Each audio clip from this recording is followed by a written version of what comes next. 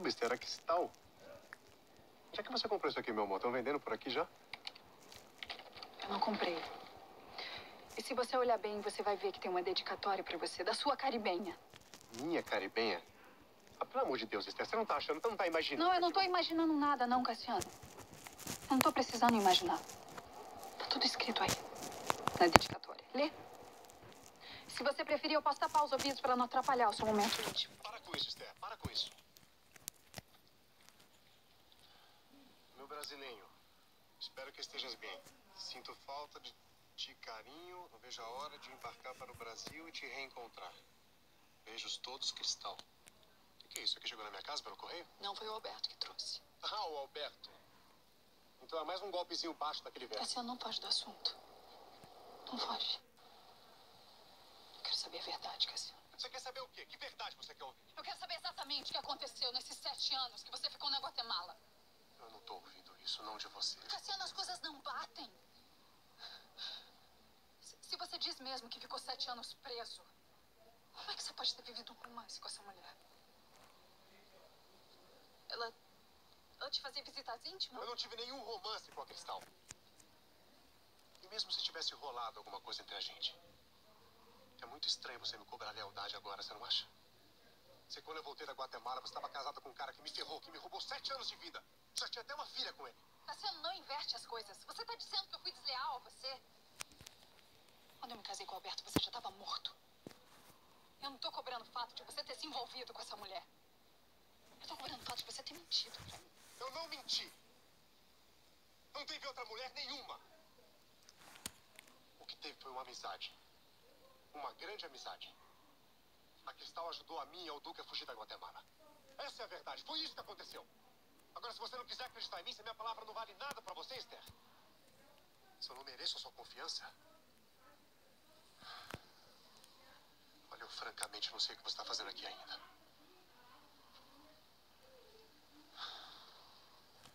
Uma coisa eu tenho que admitir. O Alberto é um gênio.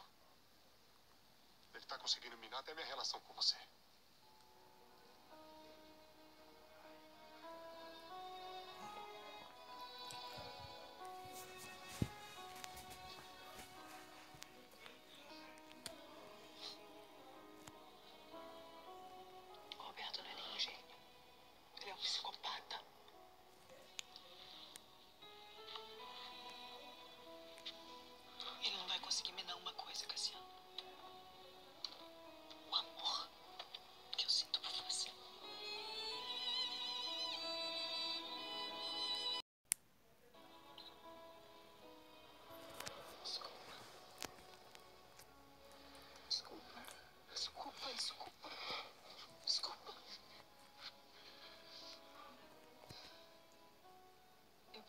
Antes que o Roberto a minha falta.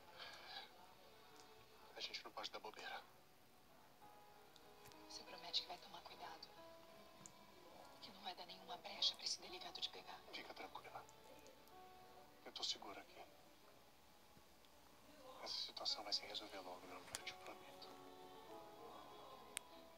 Mais cedo ou mais tarde eu vou provar minha inocência e mostrar quem é o verdadeiro culpado dessa história toda.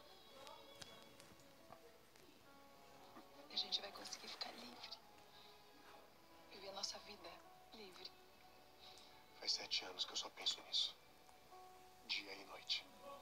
Em retomar todo o tempo. Toda a nossa felicidade. Tudo que a gente perdeu desde que o Roberto entrou no nosso caminho. Mas o Alberto é perigoso. A gente tem que ter cuidado. A gente vai ter que ficar longe enquanto esse delegado estiver por aí. Mas eu prometo, me você, tá? Tá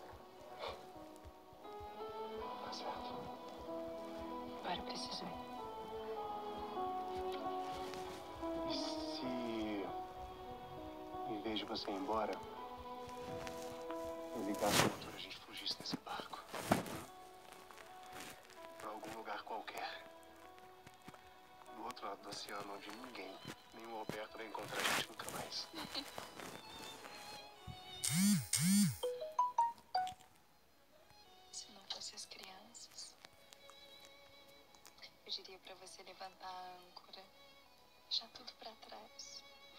viver com você a vida toda, nem que fosse em alto mar.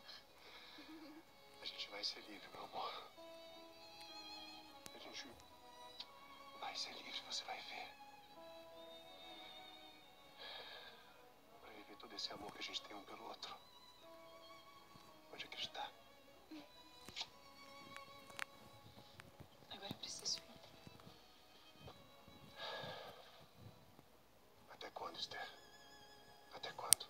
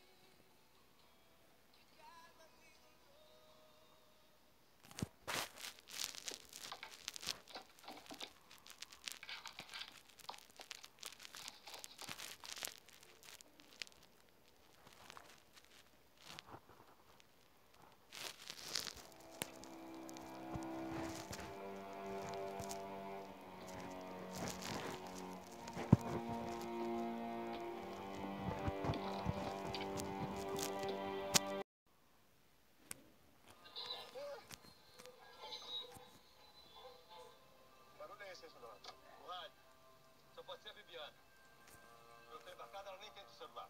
Sabe que ele não funciona aqui.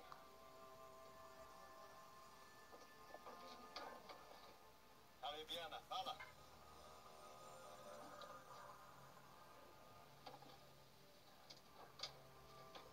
Rápido, rápido, Cassiano. Temos que sair daqui, pronto, massa. O que aconteceu? Descobriram a gente? A Thaís avisou que o delegado tá vindo aí. Já deve estar chegando. Josh! Essa porcaria tem que enganchar agora! Eu vou deixar esse celular. Faz o seguinte. Pede pra Thaís me contar na sala do farol. Tu faz isso, Cassiano? É longe demais!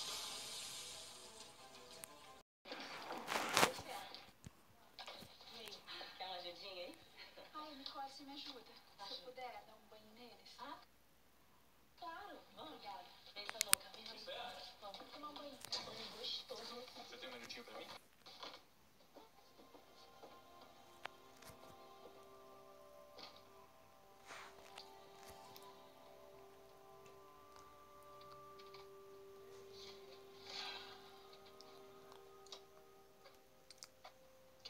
Alberto? Nada, só saber como é que. Como é que foi seu encontro ontem com seu amante? Você me seguiu, Alberto. Não. Eu não preciso te seguir pra saber com quem você estava ontem à noite quando você se esgueirou pra fora dessa casa feito uma. gata. Se você sabe onde eu tava, por que, que tá me perguntando? Acho que você não tem muito claro naquele barco onde ele tá escondido. Você tirou que ele tá dentro de um bar? Você não vai negar pra mim essa hora, né, Estherzinha? Eu de cada passo que você dá, meu amor. E tanto sei que nesse exato momento o delegado Gonzalo tá indo capturar o Cassiano. Mas não se desespere. Não se desespere que tudo na vida tem um jeito.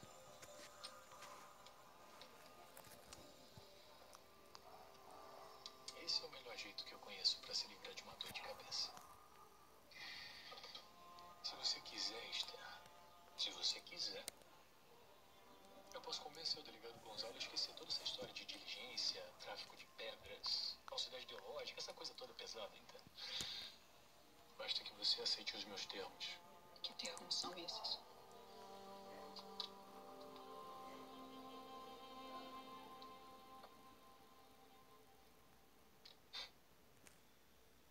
muito simples, meu amor. Primeiro, você vai continuar morando dentro dessa casa e nunca mais vai falar em divórcio. Hum? Segundo, você vai cortar todo e qualquer vínculo com o Cassiano. Definitivamente.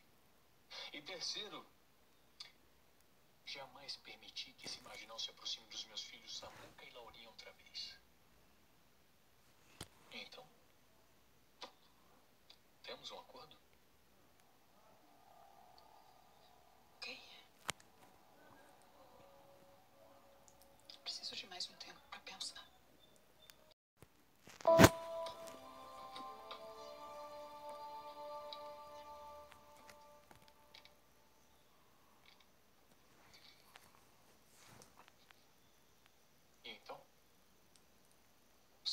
Resposta?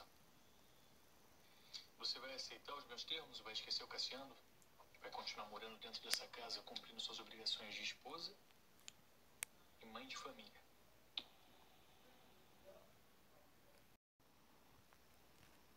Pensar que eu tive você como um amigo de verdade. Alguém que se preocupava realmente com a minha felicidade. Eu me preocupo realmente com a sua felicidade, Esther. Eu tanto me preocupo que eu não poupo esforços para te proteger. Me proteger. Te proteger de você mesma, Esther. Dessa tua fixação doentia por esse cara, dessa tua cegueira. Alberto é amor. Sentimento que eu vejo hoje claramente que você nem sabe o que é. Amor. Cassiano, é amor, Alberto.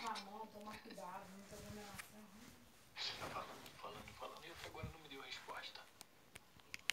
Vai. Então, Eu podia ter me pedido a menina pra escrever. que seu Cassiano vai correr o risco de perder os próprios filhos. Que se sua resposta for não, Esther, eu saio daqui imediatamente para entrar com pedido de separação e junto A mãe alta é sua colega. pedido velho. de guarda das crianças. Você tá delirando. Ah, vou depois você vai entrar Nenhum juiz tiraria a guarda de, um, de uma mãe. Ela é mais bonita do que a Depende outra. da mãe. Se mãe estiver envolvida com um amante perigoso, procurado por tráfico internacional de diamantes, eu acho que facilmente qualquer juiz vai se convencer de que essa mãe leviana tá colocando em risco a vida dos próprios filhos. Você não tem como provar. É claro que eu tenho como provar. É claro que eu tenho como provar que você se esgueira pra fora de casa no meio da noite pra encontrar com seu amante.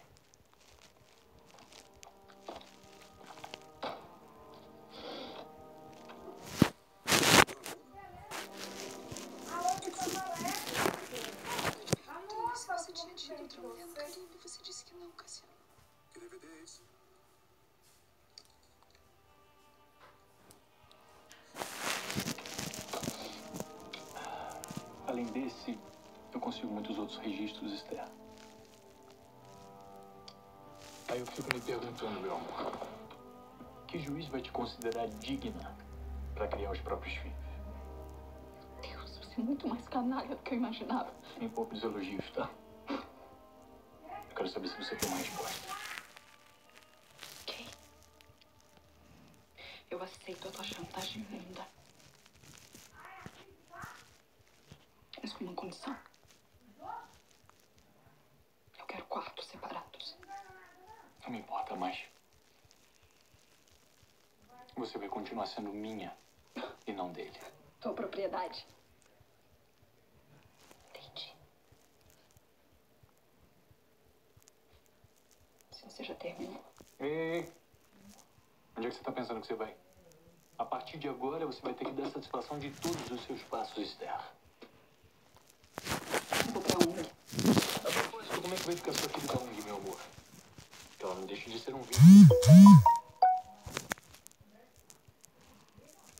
Eu não quero mais confrontar você. Que pena. É uma pena aquelas crianças e jovens pagarem pelos teus erros. Meu único erro é que eu vou me arrepender por toda a minha vida. É tem Ter me casado com você. Tantas verdades convergindo ao seu a espada sem a lira, o espinho sem a flor. Eu fiquei surpresa. Juro que eu não sabia. Para mim, um belo e rústico Juliano era seu filho legítimo. Não. Na verdade, quando eu conheci o querido, ele já criava o Juliano. Senta aqui. Vanessa, por favor, liga para a distribuidora dos biquínis. O que, é que você precisa saber? Eu quero uma resposta deles. Você quer saber se eles já aceitaram os nossos modelos, é isso? Exatamente. Se eles querem fazer o clipe com as meninas aqui. Tô indo lá ligar agora mesmo. Ótimo. Agora, meninas, eu tenho uma coisa pra falar com vocês. Não é uma notícia tão boa. O Grupo Albuquerque não vai mais financiar a ONG. Nossa, mas então isso muda tudo. Quer dizer, a ONG vai passar por uma certa dificuldade, é isso? Pois é. Partir do mês que vem as coisas vão ficar bem mais difíceis aqui. O dinheiro que a gente ganha não dá pra manter isso aqui. Esther, eu e a Márcia somos voluntárias. E eu acho que eu posso falar por nós duas. Pra gente, nada vai mudar. Eu sei disso. Mas tem as contas. Vai ser difícil pra manter essa estrutura em pé. Não se preocupe, Esther. A gente tá aqui pra te ajudar. Gente, é tão bom isso. Mas não vai ser nada fácil. Eu sei que uma coisa eu tenho certeza. Eu não vou desistir. Eu vou fazer de tudo pra manter essa ONG em pé. Esther, eles toparam. Aliás, meninas, eles não só toparam, como amaram a ideia de ter as nativas desfilando de biquíni. Eles estão empolgadíssimos e eu topei. Eu já sabia, eu sabia que isso ia dar certo.